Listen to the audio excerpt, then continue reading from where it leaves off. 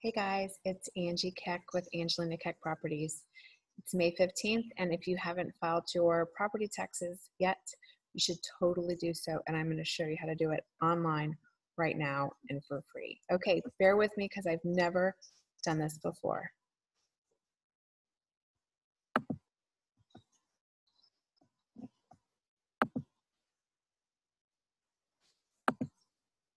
Okay, guys, here we are. This is the Harris County Property, um, Harris County Appraisal District website, and um, we're on the home page. So, what I want you guys to do is click over here where it says Online Services, and you are going to do iFile Protest. Okay. Now, over here, you're going to pick HCAD Electronic Filing System, and you're going to want your um, letter that you received that has your iFile number on it. If you've never signed up before, you're going to have to sign up, make an account, password, and all that kind of good stuff. So go ahead and click on that, okay? And then sign in. Um, like I said, if you don't have a username or you need a password, oh, it just got dark. It's kind of weird. Anyway, um, go ahead and, and sign up um, and then sign in, okay? Okay, we're back on. All right, so we are looking at one of my properties, and um, you can actually add multiple properties if you want, right there. Um, so e-filing, we're going to do the i-file protest, but what we're going to do first is um, look at our appraisal notice, okay? And so they think the property is 402. Okay, great, good to know. We're going to go back. And I don't know why that light keeps going off. That's really, yeah. So then we're going to go back to where we were. Okay. Great. Right here. And we are going to go in here. Now, make sure all this information is correct. Phone number, yes, okay. So listen, do you wish to participate in the iSettle? Click yes or no. Let's learn more about iSettle. Okay, so basically it's a new approach to handling your disputes. Um, you can protest online and you get immediate confirmation of your protest. I think it's great. You don't have to go in and meet with anybody. So I am going to say, yes, I do. Okay? And we are pleased to announce that you are able to submit evidence electronically for appraiser's review through iSettle. Once you protest and opt into iSettle, you will have five days to submit evidence through your owner's website. That is really important, y'all. Okay? So, yes, you do want to participate. Okay. Opinion of property market value. Okay, that's what I'm going to put. Okay, now, they're going to ask me some questions. What is the reason for your protest? Well, obviously, my value is over market value. Property should not be taxed in. This is if it's um, agricultural and they have it in under commercial or something like that. So don't do that. Um, failure to send notice, maybe. Other, possibly. Exemption denied, modified, or canceled. Um, ag use, space, special valuation, owner's name is incorrect. You can change that here owner's mailing address is incorrect. You can also change that here. Um, and then you can put that information. Property should not be taxed in this appraisal district. Maybe it's in Fort Bend. Value is unequal to compared with other properties. That is probably a really good one to pick. And then recent purchase of property. This is if you just purchased the property. Oh, hi, my battery's running low. And um, you, you know, you're going to show them your um, closing statement. So then you can put that you can, you can click on that and then you can um, tell them if it was um, a foreclosure. You can tell them how much you purchased it for. You probably only want to tell them how much you purchased it for if that number is less than what they're saying your house is worth just fyi Property description is incorrect.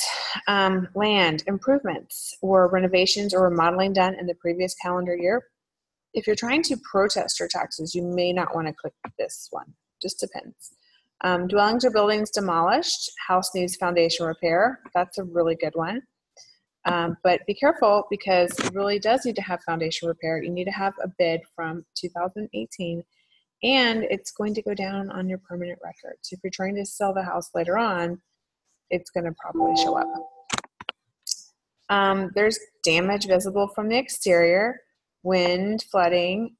Be careful with that flooding one, okay? Make sure if you if your house got water or flooded that you really do pick that because that's going to help you out. Um, and it is what it is. Fire, smoke, mold, termites, total living area, square footage, different year built. I see that a lot. Bathroom uh, count. I see a lot of houses that don't have a half bath, and for 40 years they've been paying for a half bath. So make sure you put that down there. Um, fireplace. Okay, do you want a copy of the ARB's hearing procedures? No, because I can get them electronically. So, um, and then give facts that may help resolve your case. And then um, you can put your information there, and you authorize this person. So, so the representative information you're only going to put if you have like a family member or somebody else that's going to go in front of the hearing for you. Okay, so put their information there, and then submit my protest. And you continue, you press continue, and then you're done. Okay, guys. So it was that easy. Now we're going to go back to this other page real quick. Maybe not. Just kidding. Right there. Okay. So we're going to go back to where we were. Yes. Okay, so we just did this, the I file, okay? Now, once we do that, we can actually upload files, okay? And files that you want to upload are gonna be bids of work that need to be done, um, an appraisal, a closing statement, pictures of things that need to be fixed or taken care of. Um, anything that you're going to use to kind of uh, make them understand why your house needs to be valued lower. So you can upload all of that stuff right there, okay? Um, make sure that you've enrolled in the e-delivery of documents. That's really important. So you get an email because sometimes the mail gets lost. Um, you can add and remove property accounts. See, how I had two different accounts here. That's how you do that. Um, and then scheduled appointments. If you do end up going in front of the ABR, this is where you can schedule your appointments, reschedule them, or it'll tell you when your appointments are scheduled. And that's really important for you to know. Document deadlines, dates. Um, here's your documents, okay? View appraised notice. We just looked at that. View HCAD hearing evidence notice, okay? Um, what's going to be really interesting for you to look is once you do actually file this I file protest, maybe like a day or two later, you'll be able to, this will be clickable, this line right here, the view HCAD hearing evidence. And I would open that up and look at it because that's going to be all the comparables that they're using on your house. So that is like bold right there for you. Um, here, the view completed I file protest, you can do that view scheduling notice, view ABR determination after you've gone in front of the board, um, and view the iSettle um, confirmation. Now listen, if you don't want to go in front of the ABR, you're going to get um, an email from HCAD a couple days after you file your I, I protest and your iFile. And it's going to say, hey, you said that this is the number that you think it's on. And we think it's here. Do you accept? And you either accept or you deny. If you accept it, then you're done. If you deny what they're giving you, what their settlement offer is, then you do move forward to the next um, step, which is to go in front of the ABR. So, anyway, that's all I've got for you guys tonight.